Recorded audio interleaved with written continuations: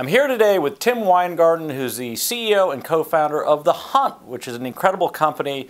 Uh, but before we get into that, uh, Tim, I'd love to talk to you about your life growing up as a kid. I know you grew up in the state of Maine. Tell us a little bit about that. Well, certainly my experience growing up is very different from my experience today living in California and Silicon Valley, building a startup and so forth. But I grew up in the middle, really in the middle of the woods, um, in a little, little tiny town called Vienna. Most of our activities were outdoors, hiking and playing sports and so forth, cross-country skiing. Um, it was a great way to grow up. Oh, I bet, without a doubt. And then you went to the University of Pennsylvania? Yep. It was a great change, and it, what was really awesome about it was it gave me the opportunity, the platform, to end up um, in New York working in finance. Since I, had, I was in engineering, I took a path there that was a little bit unusual in that I was went into equity research, and through that path, I was able to meet amazing entrepreneurs, amazing companies, and it gave me a lot of interest in, in shifting gears from um, sort of covering companies from a research perspective to being much more involved with them. And um, that's why I made the, the, the, leap to move to California and join a venture capital fund. Well, listen, why you're here is to talk about The Hunt, your yep. new company your new startup. Uh, it sounds incredibly cool. Tell us a little bit about it. Yeah, so um, while I'm a guy that's in tech, I actually love to shop. I have sort of men's fashion sort of a hobby and a passion of mine. You know, I used to be an avid um, user of Tumblr, and you would see on Tumblr all of these great shots. You know, maybe I see a, a great picture of a bunch of guys at a wedding, and I say to myself, that's an amazing tux. Where can I find that, that specific tux? Well, if you go off to Google and you try to describe in the, in, the, in the search box on Google the attributes of that tux, you will get back 100 million results, none of which are very useful. You just want two or three great suggestions of tuxes that match that photo and match your budget. Um, and so because of that pain, because of that frustration that, that I felt, that we felt as a founding team, we decided uh, that this was a problem worth trying to solve with technology. And what we basically did was we built a, a platform that would empower a community to come together, a community of avid shoppers, a community of sort of fashionistas, and empower the community to help each other shop. Meaning that sometimes the community is, some member of the community is posting that photo they saw. Other times, that same community member is helping somebody else find what the other person is looking for. And so, um, by doing this uh, two-sided network, by building this this way, we uh, effectively are able to solve the problem of finding products that match photos without having to do the actual searching ourselves. Are there just a ton of people out there that are like, this is really cool, I want to, uh, you know, this is a challenge and I'm going to help this person find the, the shirt or the jeans or the tuxedo? In a given week um, in our app, 15% of the community is helping each other by solving the hunts. Mm. So we don't exhibit the pattern that many user-generated content sites exhibit, which is that only 1% or less than 1% create all the content. That's the typical pattern of Yelp or TripAdvisor or any number of user-generated content sites. A very, very small percentage create all the content. On the hunt, it's very much different from that. You have on a given week about 25% of the audience of the users starting hunts, and you have about 15% that are solving hunts. How do you sort of see the application evolving uh, over time? I mean, do you see it uh, completely transforming the way that people shop?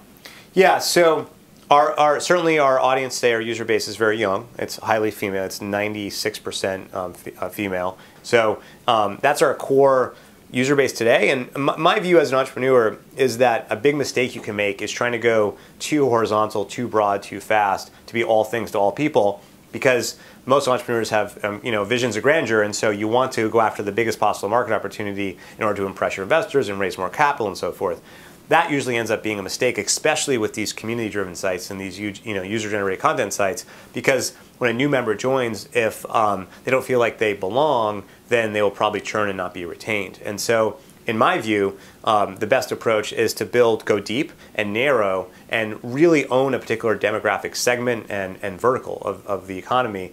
So, Tim, you've got some pretty interesting investors. You've got Tyra Banks and Ashton Kutcher. Uh, tell us a little bit about that. Have they been helpful with the company? It has. I mean, it, it, all came together sort of serendipitously. Um, it, it, we didn't set out to say, you know, beyond the, the traditional Silicon Valley investors, we're looking to bring on influential sort of Hollywood investors. But through um, some folks we knew, some connections and so forth, we got introduced to um, this set of investors. And it just so turned out the first individual we met was Ashton Kutcher um, and his investment fund, A Grade. And it turned out with A Grade, and Ashton in particular, that they had a lot of interest in sort of the social commerce sector. And when they came across us, they felt we were taking a very different approach, and they and they inherently understood the problem we were solving. So, Tim, what has been the most bizarre thing you've seen posted on the hunt so far?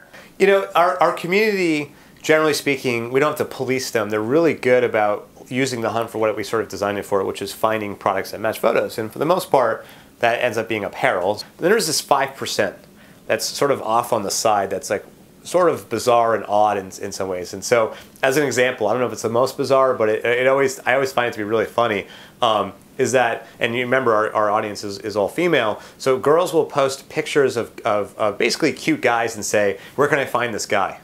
and so I joke around with my colleagues that we're becoming a dating site, but thankfully that's a very small percentage of the of the hunts. I'd love to know what you look for when you're hiring. Certainly, you're lo- you're looking for traits like somebody who's willing to take the kind of risk of joining an early stage startup, who appreciates the equity as much as you know the equity ownership as much as the the salary compensation and so forth. But what you really need is somebody who not only is an expert in their field, say they're an amazing Objective C engineer. Objective C is the language you use for you know for iOS for iPhone applications. Maybe they're an amazing engineer, but beyond being amazing in their field, do they fit in with the team? And, and really, that means do they fit in with the culture of the company? We're extremely positive and optimistic, and a lot of that comes from the fact that our community is very positive, and so I think it goes hand in hand. And are they um, a self starter? Are they um, individually driven, so they don't need a lot of management?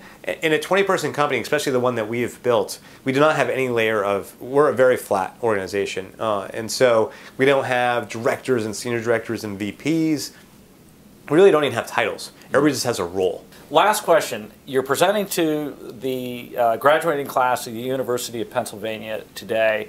What sort of advice would you give kids?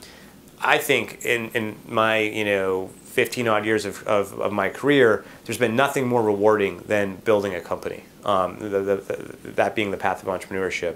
Uh, the highs are so high. Now the lows are low. Uh, when an investor says no to you, when an employee, when a great engineer you're trying to recruit says no, I'm going to join this other company, that really hurts. You look yourself in the mirror and you say to yourself, "What did I do wrong?" It feels so personal.